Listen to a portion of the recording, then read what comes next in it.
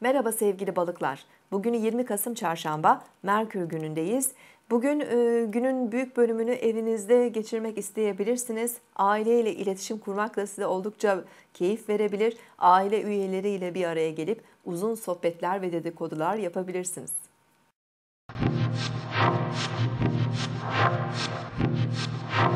Burcunuzu dinlediniz.